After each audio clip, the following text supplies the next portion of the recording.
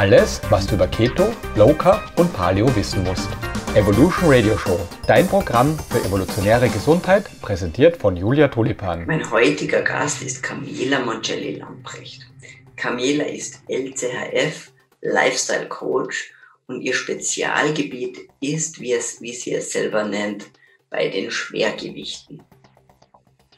Und wenn es jemanden gibt, der dafür qualifiziert ist, dann ist es Camila.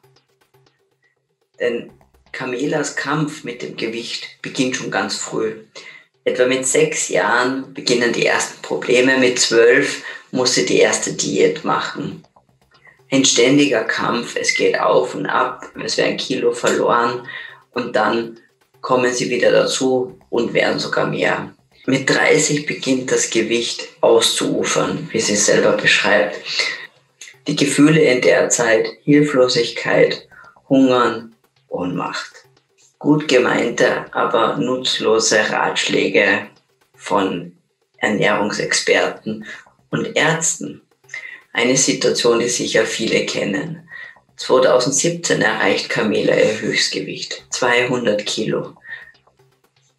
Jeder Schritt ist eine Qual, sie leidet an starken Schmerzen in den Beinen und das war der Moment, wo sie wieder einmal für sich beschlossen hat, so kann es nicht weitergehen. Entweder es ändert sich was oder das Leben ist so nicht lebenswert. Der Unterschied, sie nimmt dieses Mal einen anderen Weg. Sie kommt auf LCHF, auf Low Carb High Fat. Heute, Camila hat das Unmögliche geschafft. Sie hat 83 Kilo abgenommen, etwas, von dem es hieß, dass es ohne eine Magenbypass nicht möglich ist. Abgesehen von den Kilos, die sie verloren hat, ist sie jetzt auch schmerzfrei und voller Energie. Und diese Energie bündelt sie nun in ihre Beratung. Sie hilft nun anderen Schwergewichten, das Unmögliche möglich zu machen. Wir sprechen über ihre Reise, wie sie den Weg zur LCHF gefunden hat und welche Strategien sie für ihre Klientinnen bereit hat. Gefällt dir mein Podcast? Du kannst es über jeden Podcast-Client abonnieren, Spotify, iTunes und du kannst dir das Video auf YouTube anschauen. Folge meinem Kanal und empfehle das Podcast weiter. Jetzt wünsche ich dir aber viel Spaß mit der Folge. Ich möchte dir Brain Effect vorstellen. Brain Effect ist nicht irgendeine Supplement-Firma. Ich kenne den Gründer von Brain Effect, Fabian Völsch, schon einige Zeit und durfte auch miterleben, wie aus einem Startup in den letzten fünf Jahren eine der führenden Marken für hochwertige Performance-Food-Produkte geworden ist. Ziel von Brain Effect ist die Optimierung der mentalen Leistungsfähigkeit. Sie setzen auf höchste Qualität bei ihren Produkten und die Wirksamkeit der Inhaltsstoffe ist immer durch aktuelle Studien gestützt.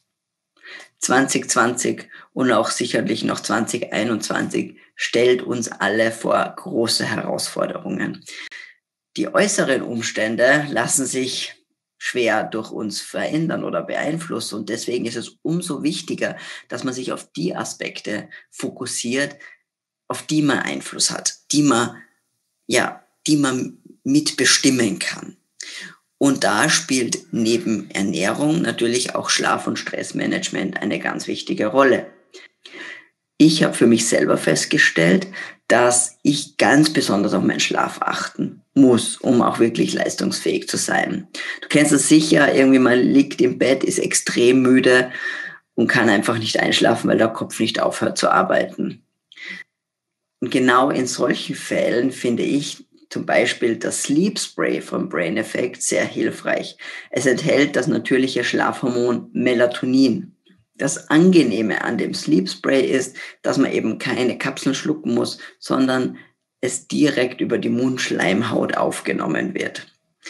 Zusätzlich zu dem Sleep Spray erhältst du auch noch den digitalen Sleep Coach, der dich mit zahlreichen Tipps dabei unterstützt, noch schneller einzuschlafen. Und das Beste ist, Exklusiv für Fans der Evolution Radio Show gibt es mit dem Code KETO20 20% Rabatt auf alles im Shop. Also schau auf brain-effekt.com und hol dir mit dem Rabattcode Keto20 20% auf deinen Einkauf. Liebe Camela, herzlich willkommen zur Evolution Radio Show. Danke, liebe Julia. Danke, dass ich dabei sein darf. Es ist mir eine Ehre, bei dir im Podcast zu sein. ja, also die Ehre ist ganz meinerseits. Ich freue mich wirklich. Ähm, wir kennen uns jetzt auch schon einige Zeit. Wir haben uns über äh, die Ausbildung zum LTHF Lifestyle Coach kennengelernt, wo ich damals als Dozentin dabei sein durfte und du quasi auf der Seite der Schülerin oder Studentin warst. Äh, mittlerweile, ja, bist du selber als Coach, Coach äh, tätig. Ähm, mhm. Du hast ein sehr erfolgreiches Instagram-Profil auch, auf dem du wirklich ähm, vor allem viel Motivation weitergibst, mhm. was ja auch so eins deiner Schwerpunkte ist. Ähm, aber bevor wir jetzt in diesen Teil deines Lebens eintauchen, würde ich gerne anfangen, ein bisschen mit deiner Geschichte. Das ist eine sehr, sehr ja, spannende, vielleicht auch anfangs natürlich auch traurige Geschichte, wo, aber eine, die ja, mit der du natürlich nicht alleine bist. Es gibt ganz viele Menschen da draußen, die eine sehr, sehr ähnliche Geschichte haben. Deswegen mhm. soll es auch motivieren und äh, Hoffnung geben, dass man sieht, es gibt einen Weg. Genau. Und bitte, fang mal an, von vorne. Von vorne. Ich habe schon immer ein Problem mit meinen Kilos gehabt. Also ich war ungefähr bis äh, sechs Jahre völlig normal und äh, bin dann in der Schule plötzlich auseinandergegangen, wie so ein Hefekloß. Da hat man mir, beziehungsweise meiner Mutter schon in der, ich glaube, vierten Klasse war es nahegelegt, doch mal eine Brigitte-Diät zu starten und ein bisschen äh, Gewicht zu reduzieren bei dem Kind. Ne? Ja, und äh, das hat sich dann immer wie so ein Faden durch mein ganzes Leben gezogen. Ich wurde ein Teenager, hatte Übergewicht, habe dann meine erste Diät gemacht. Ich glaube, da war ich zwölf, dreizehn, keine Ahnung habe dann ähm, immer wieder Gewicht verloren, habe es nicht halten können, es ging wieder hoch und irgendwann ähm, in der Lehre wurde das immer mehr und immer mehr. Ich habe natürlich auch noch einen entsprechenden Beruf gewählt. Ich äh, habe Konditorin mir ausgesucht. Äh, da war ich dann quasi an der Quelle. Ja, und es ging immer weiter und immer weiter mit dem Gewicht. Und irgendwann war ich dann plötzlich ähm, über 30. Mein Gewicht ist völlig ausgeufert. Ich habe eine Diät nach der anderen gemacht, habe auch immer wieder schön abgenommen, 30, 40 Kilo, aber nicht halten können. Also es stieg dann immer, immer weiter hoch, immer weiter hoch. Und im Juni 2017 ähm, war ich dann bei fast 200 Kilo angelangt. Ich konnte es gar nicht mehr genau sagen, weil meine Waage, die hat nur noch Error angezeigt. Und ich habe auch wirklich nichts mehr zum Anziehen gefunden. Ich hatte Hosengröße 62, teilweise 64. Ich habe auch noch das Pech, dass ich ein Hohlkreuz habe. Also das heißt, ich habe oben eine andere Größe wie unten und habe dann wirklich gar nichts mehr zum Anziehen gefunden. Ja, und dann war irgendwann der Punkt, an dem ich morgens äh, auf der Bettkante saß und mir überlegt habe, so, was tust du jetzt? Entweder du machst so weiter und stirbst weil es ging gar nichts mehr, mir ging es so schlecht. Oder äh, du fängst jetzt mal an, irgendwas zu ändern. Und dann kam ich an dem Morgen auf die irrwitzige Idee, eine Fastenkur zu starten. Und ähm, habe das auch schon ein paar Mal gemacht gehabt und äh, auch mit Erfolg, dass ich halt eine schnelle ähm, Kilozahl am Anfang verliere und dadurch Motivation bekomme. Und diesmal ging das völlig nach hinten los. Ich habe mich immer schlechter gefühlt es wurde immer schlimmer. Und irgendwann habe ich zu meinem Mann gesagt, ich glaube, ich mache hier irgendwas falsch. Also ich fühle mich, wie wenn ich jetzt hier gleich sterbe. Und habe dann wirklich mich an den Computer gesetzt und habe mal bisschen gegoogelt und plötzlich äh, bin ich so über die Ketose gestolpert und habe gedacht, hm, Ketose, das ist doch irgendwie alles, was da steht, habe ich doch jetzt gerade. Also irgendwie, ich habe Herzrasen, mir stolpert der Puls, ich fühle mich furchtbar. Ja, und dann habe ich angefangen, da äh, so ein bisschen zu recherchieren und nach dieser Keto-Grippe zu gucken und habe hab dann halt festgestellt, ich bin tatsächlich in dieser Keto-Grippe jetzt gerade drin. Und da war mein Interesse geweckt und dann habe ich gedacht, so, und jetzt versuchst du es nochmal richtig und ähm, bringst dich mal gewollt in diese Ketose. Bin dann unter anderem auch auf dich, Julia, gestoßen. Ähm, und habe gedacht, gut, Ärzte helfen mir nicht. Ähm, Ernährungsberaterinnen, äh, bei denen, wo ich war, ja, ich war bei der Krankenkasse bei einer, die hat dann gesagt, ja, sie haben so viel, äh, da kann ich Ihnen nicht helfen, das geht nicht ähm, essen Sie nur noch Reis in der Pfanne angedünstet, dann nehmen Sie ab. Und dann habe ich gesagt, okay, alles klar. Ähm, wenn mir jetzt hier keiner helfen kann, dann muss ich mir jetzt irgendwie selbst helfen und ähm, habe dann begonnen zu recherchieren. Also so ist jetzt Wahnsinn, die Kurzversion. Ja. Ne? Die Kurzversion. Genau. Also mir ging es wirklich überhaupt nicht mehr gut. Ich habe keine Luft mehr bekommen. Ich konnte mir die Schuhe nicht mehr binden, weil ja da so viel Masse war, dass ich mich nicht mehr richtig bücken konnte. Mhm. Ähm, ich habe nicht mehr laufen können teilweise. Also ich habe ja einen Hund und zehn Minuten mit dem Hund haben mich völlig geschafft. Also ich war am Ende dann im Sommer, wenn draußen äh, schön die Sonne war, ich natürlich hier nix wie nach Hause, flach hinlegen und am besten gar nichts mehr tun. Also es war richtig die Hölle. Und ähm, wenn ich da nichts geändert hätte, ich glaube, das hätte nicht mehr lang gedauert und dann wäre Ende gewesen. Mhm. Ja, 200 Kilo, ich meine, das können sich die wenigsten vorstellen, ja. wenn man es nicht eben selber miterlebt und ich glaube, wenn, wenn man auch ein bisschen ein, eine Empathie dafür entwickeln möchte, dann sollte man sich mal einfach auch einen schweren Rucksack zum Beispiel nehmen. Man muss ja nicht gleich auf 200 Kilo, aber man merkt ja einfach, selbst 30, 40 Kilo mehr sind schon enorm. Ja, und, und natürlich ist das eine Riesenbelastung. Ähm, und wie du sagst, es ist, ich finde es immer interessant, wie man überhaupt, weil du hast ja ganz viele wirklich viele Diäten. Du hast es ja versucht. Ja, du hast dich, es ist ja nicht so, äh, dass man sagt, mir ist alles wurscht und ich sitze den ganzen Tag auf der Couch und äh, stopf äh, uh Kartoffelchips in mich rein und, und trink Cola, äh, sondern du hast eigentlich seit, ja, seit dem, dem sechsten Lebensjahr im Wesentlichen versucht, dagegen anzukämpfen mit all den Mitteln oder den Optionen, die dir ja von den ja, so von Ärzten oder von äh, anderen mhm. Ernährungsexperten angeraten worden sind im Wesentlichen, ja. Und, und eigentlich hat es immer kurzfristig funktioniert, aber keine langfristige Lösung, ja. Ähm, jetzt ist, war für dich, äh, bevor du jetzt in Keto oder wirklich in diese, in, dich mit Keto beschäftigt hast, war da schon irgendwo, weiß ich nicht, Low Carb oder LCF schon mal irgendwo ein Thema für dich? Hast du, also, weil der Schritt stelle ich mir vor von, wenn man jetzt in dem klassischen Ernährungsgedankenmodell ähm, drinnen ist, ganz wenig Fett und ähm, Kalorien zählen, dann hin zu Keto ist ja doch ein ganz schöner, ganz schöner Schritt. War das von einmal, hast du dich das auch getraut, überhaupt an diesen Schritt zu gehen? Ja, ähm, also ich habe schon vor Jahren mal versucht, das war so eine Art, ähm, ja, ich weiß nicht, Zuckerknacker nannte sich das, glaube ich, Zuckerknacker-Diät. Ähm, da hat man im Prinzip alles Zuckrige weggelassen und das war so eine Art Slow Carb. Also da hast du Vollkornprodukte, Hülsenfrüchte, sowas hast du essen können. Habe ich auch ganz gut durchgehalten, aber ähm, das hat bei mir, also ich sag's mal anders. Jede Diät, die ich gemacht habe, die hat bei mir mein Essverhalten schlimmer gemacht, weil ich im Endeffekt mir antrainiert habe, Fressanfälle zu bekommen. Das habe ich regelrecht antrainiert mit diesen ähm, Diäten. Ja, und dann habe ich eben dieses Zuckerknacker damals entdeckt und habe das versucht und es hat auch ganz gut geklappt, bin aber wieder in das alte Verhalten zurück. Also das hat mir irgendwie nicht so funktioniert, wie es funktionieren sollte.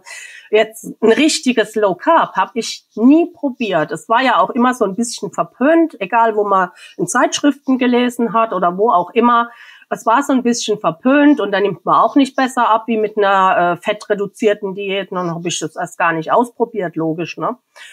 Und ähm, das war dann wirklich wie so ein Umschalten, weil ich plötzlich festgestellt habe, dass ich ähm, richtig ähm, abhängig bin vom Essen. Also ich habe plötzlich realisiert, dass ich eigentlich den ganzen Tag am Kauen bin. Und je öfter ich esse, umso öfter ist mein Verlangen auch nach Essen da. Also das war so eine richtige Kettenreaktion. Plötzlich habe ich gemerkt, ich stecke da in so einer Spirale drin und es dreht sich immer weiter, immer weiter und ich komme da gar nicht mehr raus. Und dann kam der Cut und dann habe ich gesagt, okay, und jetzt komplett alles weg und jetzt gucken wir, was passiert. Und ich hatte ja kein äh, Sättigungsgefühl mehr. Das war ja komplett weg. Also ich konnte wirklich den ganzen Tag essen. Und ich habe, glaube ich, drei Tage zuckerfrei hinter mir gehabt. Und plötzlich habe ich festgestellt, da stellt sich irgendwas um, da tut sich was. Ich habe plötzlich wieder einen Hunger, das ist mir als erstes aufgefallen. Hunger ist da. Ähm, und dann auch wieder eine Sättigung nach dem Essen. Und das war für mich ganz fremd und neu. Also ich habe das, ähm, bis ich 45 war, nie mehr gehabt. Ich hatte kein Sättigungsgefühl mehr. Also ich ja. kann mich auch gar nicht erinnern, wann das jemals da war. Ne? Voll spannend auch diese hm, die Beschreibung, die du da hast, dass das und vor allem finde ich es auch interessant, ähm, weil weißt du, was war jetzt der Unterschied sozusagen? Weil du hast ja quasi diese so Zuckerknacker, die das hört sich jetzt auch mhm. quasi nach Low Carb an irgendwo, ja. Mhm. Auch, auch diese, die Auswahl eben der, der langsam verstoffwechselten Kohlenhydrate, da denkt man jetzt, ja, ist auch gar nicht, ist ja schon irgendwo Low Carb, ja. Aber es war eben nicht, nicht ausreichend wohl für deine Bedürfnisse und war das auch gleichzeitig wohl auch nicht wirklich äh, höher in Fetten, oder? Oder nee. wie war das? Nee, es war nicht höher in Fetten, also es war ganz normal. Du durftest auch schon mal eine Butter und eine Mayo oder so, aber ähm, so das Grundprinzip war eigentlich auf Kalorien achten. Mhm.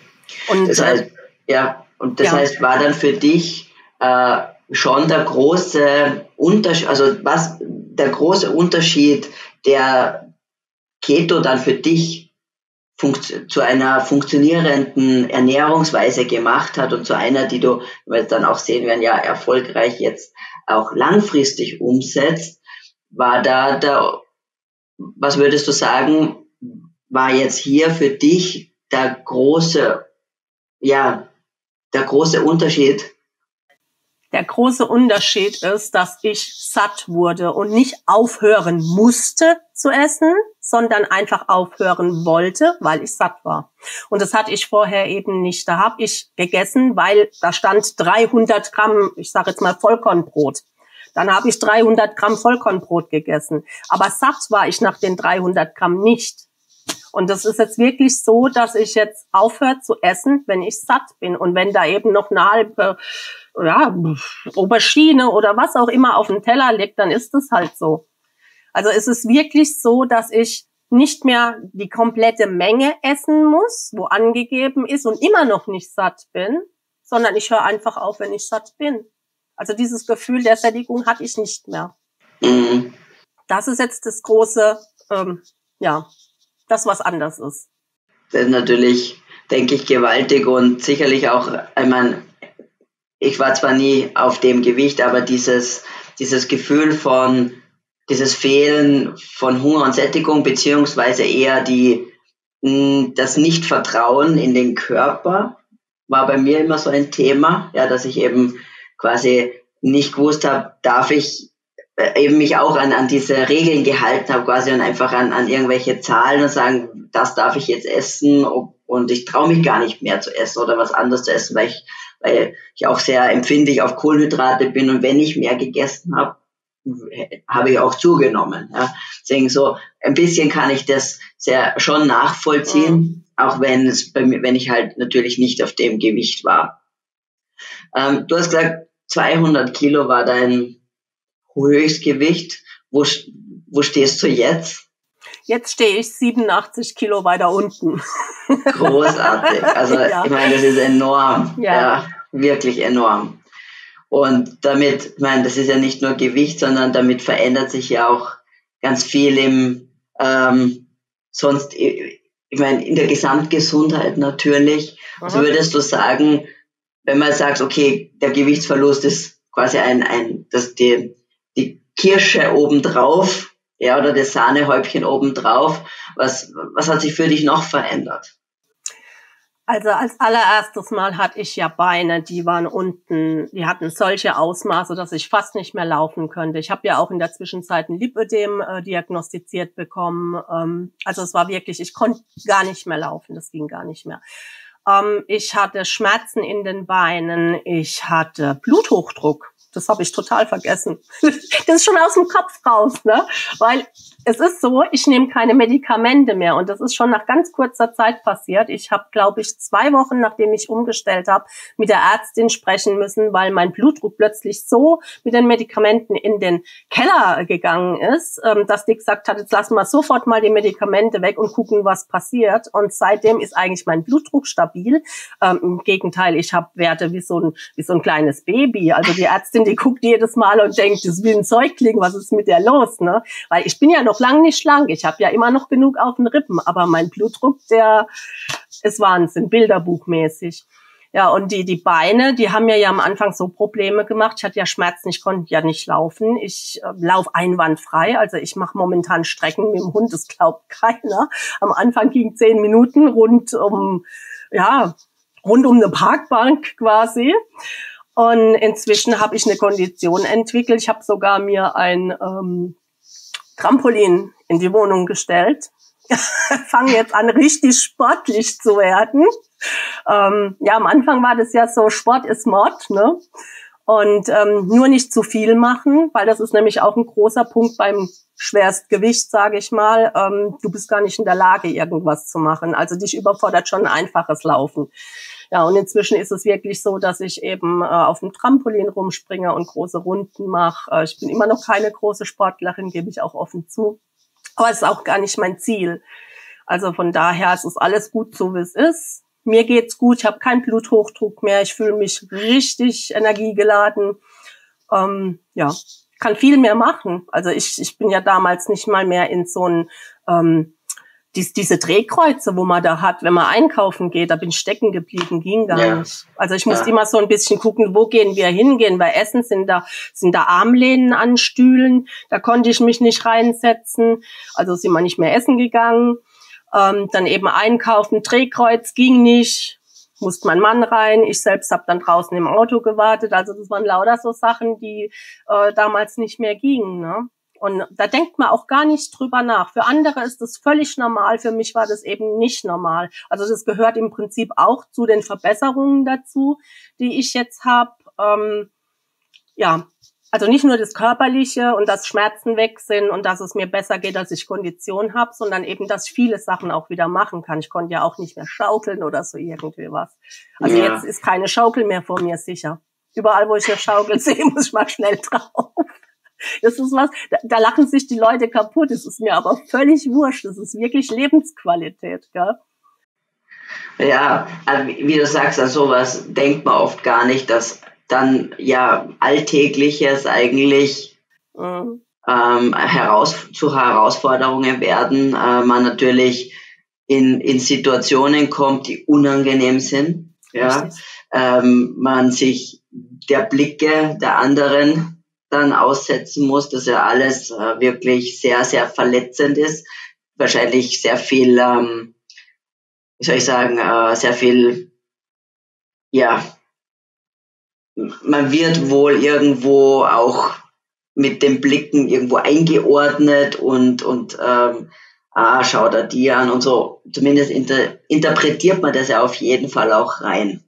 Mhm selbst wenn es vielleicht auch nicht immer so ist, aber es ist definitiv etwas, dass man, dass man das zudem sowieso schon dem, dem Leid, dem er ausgesetzt ist, ja dann noch diese soziale Komponente hat, diese urteilvollen Blicke, denen man sich da aussetzt und dann vielleicht auch beginnt, sich immer mehr zurückzuziehen, kann ich mir vorstellen, weil das ja quasi Folter ist, der man sich da aussetzt.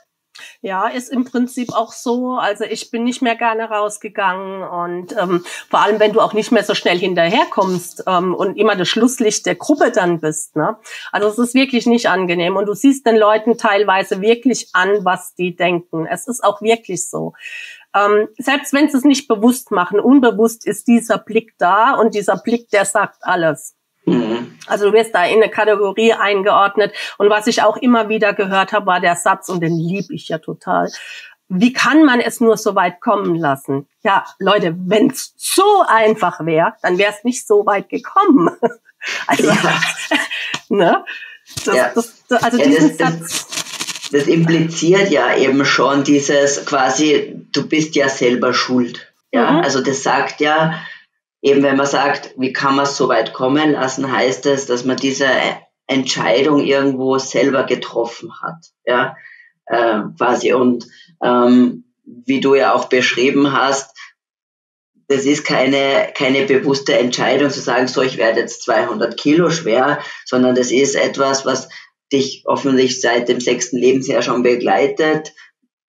Wir wissen nicht, woran es liegt, aber es gibt, wir wissen, dass es Menschen gibt, die sehr, sehr kohlenhydratsensibel sind, ja, die, oder es kommen noch andere Aspekte. Natürlich gibt es eine genetische Komponente und, und, und, ähm, die es dazu führt, dass, dass eben für dich oder für jemanden, der eben so sensibel ist, nicht die gleichen äh, Regeln gelten, quasi für jemanden, der schlank ist. Ja, weil und das denke ich, das ist die, die größte Problematik an dieser ganzen Ernährungsgeschichte ist, dass, dass die Annahme im Raum steht, ein, ich, ich sage es jetzt so absichtlich überspitzt, ein dicker Mensch muss nur so essen wie dieser dünne Mensch und dann wird er auch dünn. Aber das passiert nicht, ja, weil der dünne Mensch, der hat einfach nicht die Voraussetzung, so leicht quasi unter Anführungszeichen zu einem dicken Mensch zu werden. Und ein dicker Mensch hat eine hat andere Rahmenbedingungen und deswegen, wenn die gleich essen, wird der aus dem dicken Mensch kein dünner Mensch werden. So ist ja. es, ja. Und, und das ist die große, ich finde das große Problem, dass man einfach sieht, da gibt es unterschiedliche Bedürfnisse. Ja. Und äh, du hast für dich herausgefunden, dass ähm, ein quasi einfaches Low Carb offensichtlich nicht ausreicht, sondern du einen weiteren Schritt gehen musst. Ja? ja. Machst du jetzt immer noch Keto oder wie, wie machst du, wie ernährst du dich momentan? Also ich mache momentan so eine Mischung aus beidem. Es ist so, ich habe ich hab Phasen, da bin ich ein bisschen lockerer. Momentan rutscht auch schon mal eine, eine halbe Birne in meine Ernährung rein oder eine halbe Mandarine. Ähm, das geht alles. Ich habe ich hab wirklich gelernt, mit der Zeit damit umzugehen und, und äh, dieses Sättigungsgefühl ist dann auch geblieben. Also ich kann, ich traue mir zu, jederzeit zurückkehren zu können in Keto. Das war am Anfang nicht so. Da hatte ich so eine starke Gier in mir, dass ich die nur durch Keto ausschalten gekonnt habe. Inzwischen habe ich mich so trainiert, dass das ähm, wirklich auch geht, wenn ich ein bisschen lockerer bleibe. Ich darf aber nicht zu locker werden. Also wenn ich ähm, jetzt in eine Zuckerrichtung gehen würde, dann wäre ich ganz schnell wieder im alten Verhalten drin. Auch nach vier Jahren ist das nicht ausgeschaltet. Also es ist immer eine permanente Arbeit. Ähm, hier, ja, mhm. Mindset. Das ist wirklich so. Ähm, ich habe am Anfang auch gemerkt, wie ich mich selbst belogen habe die ganze Zeit.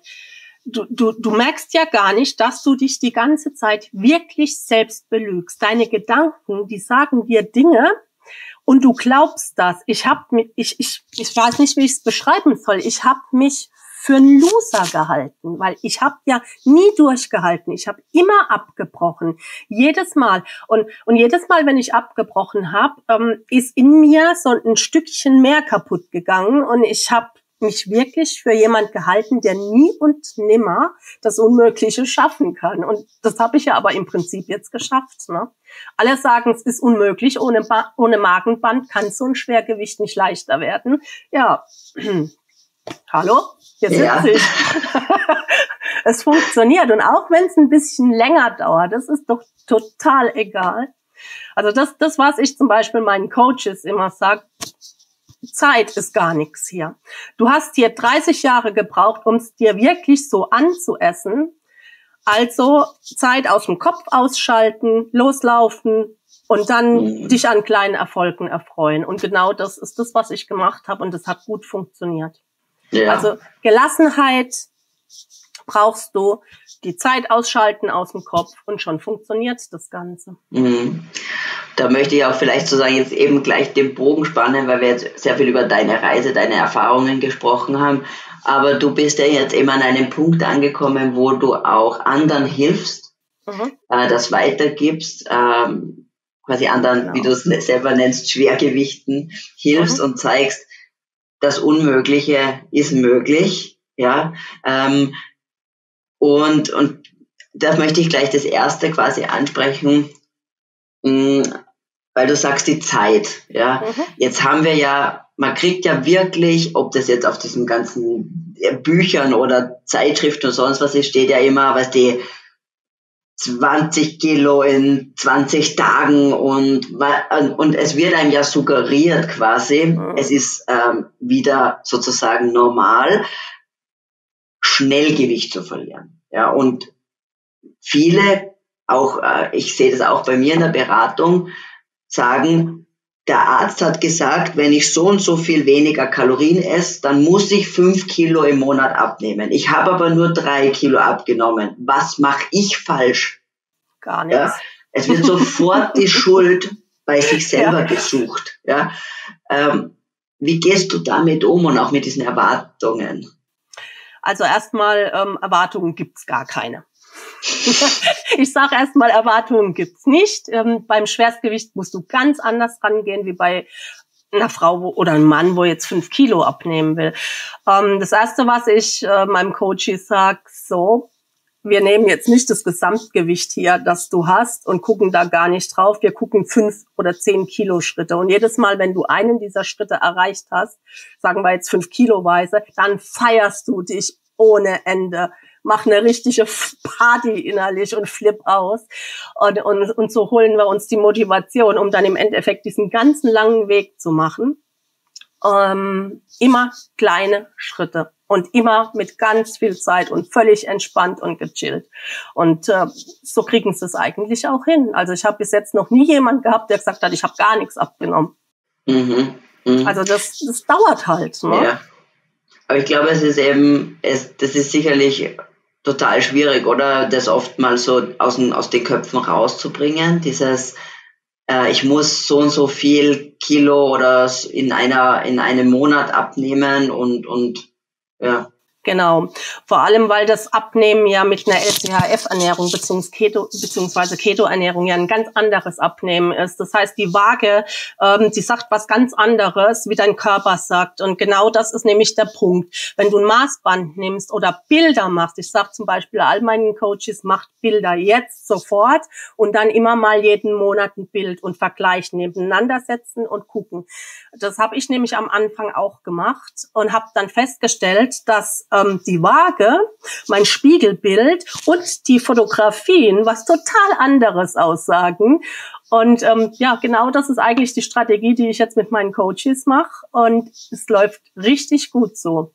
Also der, der Kopf geht damit. Bei mir ist am Anfang der Kopf nicht mitgegangen. Ich habe dann immer gedacht, okay, und jetzt sehe ich aber im Spiegel so aus. Ich, ich habe mich quasi anders gesehen, als ich dann wirklich war. Ne? Und auf der Waage war dann wieder so eine Zahl. Dann habe ich gedacht, okay. Und was ich auch am Anfang ja ganz schlimm gemacht habe, ich habe mich verglichen. Oh, jetzt hat die 20 Kilo abgenommen und die sieht so aus. Und jetzt habe ich ja selber Gewicht dann, warum sehe ich dann nicht so aus wie die? Na, also das, das war auch so eine Geschichte, wo ich dann immer sage, nee, gar nicht vergleichen, gar nicht rechts und links gucken, straight mhm. vorwärts, funktioniert am besten. Also sie nehmen es auch wirklich gut an. Ich habe ja vor allem Frauen als ähm, Coaches und die nehmen es richtig gut an. Sehr gut.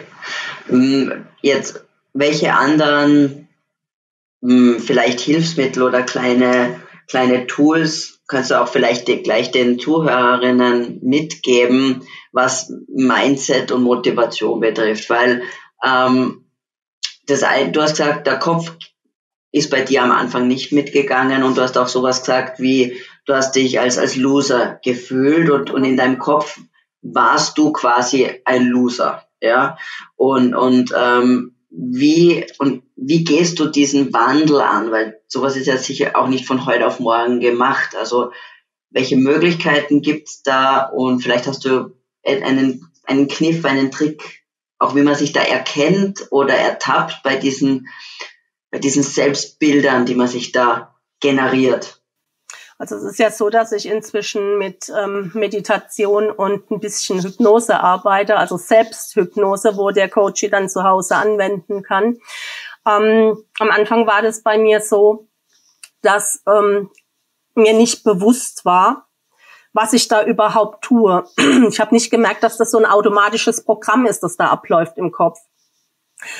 Ähm, ich habe mich dann hingesetzt und habe wirklich mal geguckt, wie haben die denn sich alle ernährt? Wie komme ich denn zu diesem Essverhalten? Wer hat mir denn sowas gelernt? Sind wir alle am Tisch gesessen? Haben wir alle zusammen gegessen? Hat meine Mutter gern gekocht? Hat sie vielleicht gar nicht gekocht? Also so Sachen habe ich mich dann selbst gefragt und habe dann gemerkt, in, in welche Richtung das so geht und wo mein Essverhalten herkommt. Zum Beispiel, dass mein Vater aus Italien kommt und in Italien wird es ja immer so zelebriert und man sitzt ja wirklich stundenlang am Tisch und es gibt ein erstes, ein zweites, ein drittes. Ja, da brauchst du dich zu wundern, wenn ich dann plötzlich drei Gänge irgendwann koche. Ne? Und wenn du dir solche Sachen dann mal bewusst machst, ne, was du dir überhaupt von anderen so ähm, angenommen hast und weiterführst und das eigentlich ja gar nicht das ist, was du möchtest, dann kannst du es ja erst ändern. Ne? Aber du, du machst unbewusst eben diese Dinge weiter. Und ich, ich gucke jetzt halt, dass ich wirklich mit, mit Meditation so ein bisschen Selbsthypnose die Leute dann eben in diese Richtung bringe, dass sie drüber nachdenken, ähm, warum ist es, warum mache ich das, warum ist es in dem Moment so und warum reagiere ich so. Also das, das ist ein so Reflektieren einfach auch ein ja, bisschen über diese, genau. über diese Sachen, ja, genau. über das genau. Verhalten. Genau. Und also vielleicht auch einen Tipp, wie man quasi am Mindset arbeiten kann, was einerseits die eigene Wahrnehmung betrifft vielleicht, dass man sich da auch irgendwie ein bisschen selber rausholen kann aus diesem Teufelskreis. Also was ich in dem Moment immer gemacht habe von Anfang an, ähm, ich habe mich hingesetzt und habe erstmal angefangen, in mich zu gehen und zu atmen. Also das hat mich direkt aus der Situation, in der ich war, rausgenommen. Wenn ich jetzt zum Beispiel äh, gespürt habe, jetzt kommt hier eine Gier oder ein Verlangen nach irgendwas, dann habe ich mich hingesetzt und habe erstmal tief durchgeatmet. Ja, habe die Augen zugemacht, habe mich äh, drauf konzentriert, äh, bin ruhiger geworden und durch dieses in sich gehen und ruhiger werden, werden die Gedanken dann plötzlich auch klarer. Also das ist immer so was, was ich sage, nicht gleich nachgeben, hinsetzen, ruhiger werden, atmen und dann gucken, ist es immer noch so? Muss ich da jetzt reagieren? Und, und dann natürlich mein unschlagbarer Tipp, wenn es dann immer noch so ist, dann macht man sich eine zuckerfreie heiße Schokolade. das funktioniert immer und dann sind die Gelüste weg. Das ist ein super Tipp. ja. Das Schokolade. Ja. Das hat bei mir immer funktioniert. Also das gebe ich dann auch wirklich meinen Coaches so weiter. Wenn du merkst, es ist gar nicht der Gier, hart zu werden, dann, dann tu's, aber mach's richtig und nicht hier im Supermarkt durch die Regale und hier die, ähm, ja, Gummizeugs mhm. oder sonst irgendwas, ne? Ja. Also bewusst, bewusst dann gucken, ist es jetzt immer noch so? Komme ich aus der Geschichte gar nicht raus? Dann gehst du in die Küche, machst dir eben deine zuckerfreie Süßigkeit und dann ist es hinterher aber auch wieder gut. Mhm. Und wie würdest du, ich meine, die, die, die, die eigene Einstellung ist ja eine Sache ja. oder die eigene, wie soll ich sagen, Vorsätze, nenne ich es mhm. jetzt mal.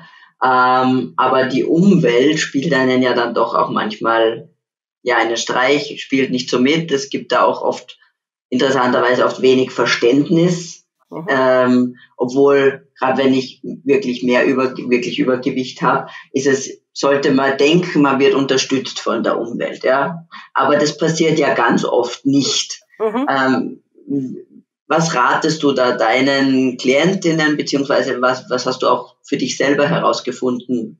Was machst du da? Also für mich selbst habe ich herausgefunden, dass ich auf gar niemand mehr höre. Das, das ist das Erste, was ich gemacht habe. Ich habe alle Gegenstimmen erstmal ausgeschaltet und habe gedacht, okay, redet ihr, schauen wir mal hinterher, ähm, wer hier als Sieger vom Feld geht. Ne? Also ich habe oft gehört, oh, das kann man doch nicht so viel Fett, um Gottes Willen. Äh, und die Blicke im Restaurant unschlagbar, wenn du natürlich zum Grillsteak nochmal extra Kräuterbutter ähm, verlangst und die dann denken, oh, was will die denn da mit der Kräuterbutter noch? Ne? Aber äh, im Endeffekt ähm, ja, man muss wirklich, man muss wirklich an seinem Kopf arbeiten und das ausschalten und die anderen reden lassen. Und dann funktioniert das auch. Ähm, ich habe äh, von Anfang an mit meinem Mann die Strategie gefahren. Der hat ja auch wieder gedacht, oh, die schwätzt jetzt nur, die fängt ja mal wieder irgendwas an. Habe ich gesagt, lass mich machen.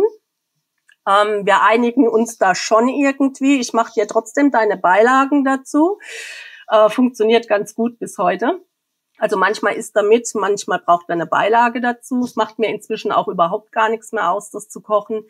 Ähm, wenn ich essen gehe, bei meinen Eltern oder sonst wo, ähm, ja, die, die, die finden es jetzt nicht so prickelnd, sagen wir mal so, können sich ohne Kohlenhydrate nicht vorstellen, aber sie akzeptieren es. Also ich werde nicht gezwungen, irgendwie mal hinzugreifen oder wie es in Italien halt immer so der Fall ist. Ne? Oh, wir sind beleidigt, wenn du jetzt nicht isst. Ne?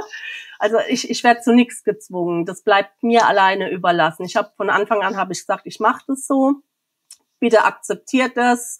Ähm, guckt, dass ihr mich ein bisschen unterstützt. Ja, hat nicht immer so geklappt mit der Unterstützung. Ähm, wenn ich jetzt irgendwo anders bin und die Leute partout nicht äh, damit zurechtkommen, dann kann ich auch schon mal sagen, okay, dann ist es heute jetzt halt ein, ein, dummer Tag, dann esse ich jetzt halt mal das, was da ist. Ähm, ich halt so mit den Diskussionen aus, ne? aber äh, in der Regel ist das alles easy. Am mhm. Anfang hat man sich schlimmer vorgestellt, als es dann wirklich ist. Ne? Irgendwann akzeptiert das jeder. Ja, ja.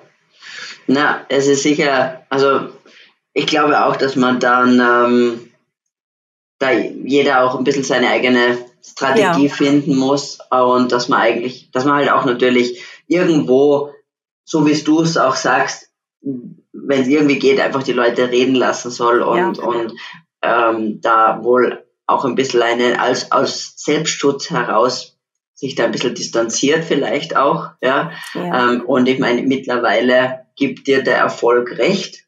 Ja.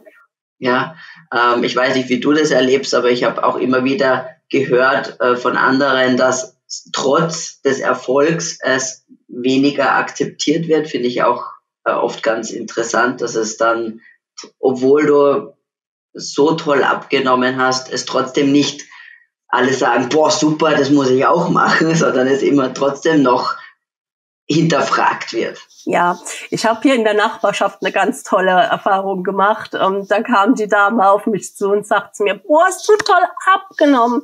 Aber so wie du das machst, könnte ich das nicht. Und ich dann denk, okay, warum kannst du das nicht? Ne? Also es ist wirklich so. Die hören, oh, weniger Kohlenhydrate. Was? Keine Kartoffeln, keine Nudeln. Ja, was isst denn du dann? Also es ist wirklich noch, ähm, ja, ja. Da, ganz viel Aufklärung braucht es da noch. Genau. Ich meine, alle, die sich das jetzt fragen, was isst du denn dann, die sollen unbedingt einen Blick auf dein Instagram werfen. Genau. Denn da äh, teilst du ja auch immer wieder, was du isst. Ähm, und man sieht, das ist ähm, nicht nur einfach machbar, sondern einfach ein ganz, ganz tolles Essen. Man muss eigentlich auch auf nichts verzichten in genau. dem Sinne. Ja, man macht, man isst einfach anders und wird wieder satt, äh, hat mehr Energie und äh, muss nicht hungern, Richtig. was was Schöneres gibt. Und ich glaube, es können sich einfach viele nicht vorstellen, dass äh, wenn ich so esse, dass ich nichts entbehre. Ja. Genau, genau. Die denken immer, Keto ist Verzicht. Und das ist das, was ich als erstes sage. Keto ist kein Verzicht.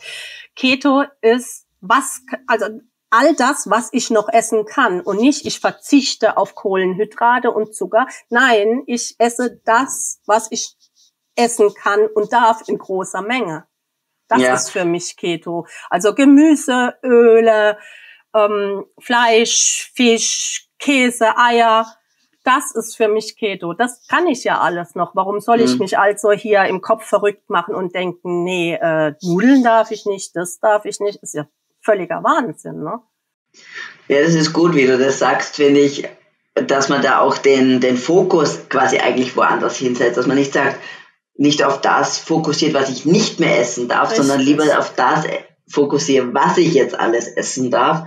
Und damit verändert sich ja die Wahrnehmung auch schon wieder gleich genau. sozusagen. Ja. Das, das ist auch so ein Punkt, wo in Mindset und, und Motivation reingeht, dass ich eben gucke, was darf ich und in welcher Menge darf ich das und, und was kann ich da draus machen aus den Lebensmitteln. Ich, hab, ich, ich gehöre absolut nicht zu der Fraktion Hardcore geht bei mir gar nicht. Ich habe von Anfang an gesagt, Nachbauten brauche ich. Ich komme aus einem Gewichtsbereich, wo ich ähm, mich hauptsächlich von Nudeln, Brot, Pizza, Kuchen ernährt habe, von Süßigkeiten. Ich habe auch am Anfang tatsächlich die bösen, bösen Gummiteile, die zuckerfreien gegessen. Eine Mini-Handvoll, aber ich habe das gebraucht. Ich habe das für hier oben gebraucht. Wenn mein Kopf ruhig war, dann ging das alles problemlos. Und ich habe den mit einer Mini-Portion Gummitieren tatsächlich ruhig stellen können. Und das ist nämlich auch so ein Punkt. Wenn man komplett auf alles verzichtet, von jetzt auf nachher, dann geht das Ding in die Hose, aber volle Kanne. Und ich habe mir eben für alles meine Alternative gemacht und habe dann am Anfang, klar, bis ich mal drin war und gesehen habe, hier... Äh, wie groß muss meine Portion sein, dass ich satt werde, was kann ich überhaupt essen. Da habe ich so ein bisschen ähm, Nachbauten frei gemacht, aber dann nach einer Zeit habe ich geguckt, wie kann ich das alles einbauen. Und ähm, ja, ich war da vier, seit vier Jahren gut damit und äh, ja, ich hätte es nicht machen können von einem Tag auf den nächsten auf null. Deswegen habe ich mich darauf konzentriert, was kann ich, wie kann es aussehen und vor allem, dass es eben halt geil schmeckt. Ne? Ja. dass du, dass du keinen Unterschied merkst. Und du merkst definitiv keinen Unterschied. Wenn du jetzt einen Kuchen oder eine Torte machst, da ist nicht viel Unterschied. Genau. Ja, ähm, ja, liebe Camela, wir kommen sozusagen langsam zum Ende unserer, unseres Interviews. Vielen lieben Dank, dass du so viel, ja, von dir geteilt hast. Und ich bin mir sicher, dass du ganz, ganz vielen da draußen ähm, ja Hoffnung gegeben hast und auch wieder einen Ansatz für, für deren weiteren Schritte. Ja, und ähm, wie gesagt, ich kann jedem nur empfehlen und wir verlinken es natürlich auch in den Show Notes auf deine, auf dein Instagram zu schauen, auf deine Website zu schauen und ähm, sonst auch deine Hilfe in Anspruch zu nehmen. Denn ich glaube, das ist vielleicht auch noch ganz wichtig, man muss nicht alles alleine schaffen. So und es. Ähm, es ist keine Schande darin, sich Hilfe zu holen und Hilfe zu nehmen. Ja, und äh, vielleicht abschließend gibt es irgendetwas, was du noch den Zuhörerinnen mitgeben möchtest, irgendwelche weisen Worte zum Schluss oder etwas, was dir noch am Herzen liegt. Ja, man, man darf sich nicht von Ärzten verunsichern lassen. Die Ärzte, die haben äh, mit der Ernährung nicht so viel am Hut. Ähm, wenn ich zurückdenke, was ich da eigentlich getrieben habe, ich bin zum Arzt gegangen, der Arzt hat gesagt, oh, so wie du aussiehst, so kannst du nicht abnehmen, du brauchst eine Magen-OP. Ähm, hätte ich mich verunsichern lassen, hätte ich das gemacht, dann würde ich heute nicht so hier sitzen, wie ich hier sitze. Also man darf sich wirklich nicht verunsichern lassen. Ich habe einen guten Weg äh, eingeschlagen. Ich habe gezeigt, dass es auch ohne geht. Und jeder kann das. Wirklich jeder kann das. Man darf sich wirklich nicht verrückt machen lassen. Alles ist möglich. Das ist ein, ein wirklich schöner, schöner Schlusssatz. Damit sage ich vielen lieben Dank nochmal für deine Zeit. Danke, dass ich da sein durfte. Dankeschön. Halt, halt, halt, noch nicht ausschalten. Falls du mehr zu dieser Folge wissen möchtest, den Link zu den Show Notes findest du unten in der Videobeschreibung. Vielen lieben Dank für deinen Support. Jeder Daumen nach oben und jedes Abo hilft uns. Wenn du jetzt an jemanden denkst, dem diese Folge sicher weiterhelfen kann, dann teile sie doch. Wenn du eine unserer vorigen Folgen anschauen möchtest, die findest du gleich hier. Also, bis zum nächsten Mal.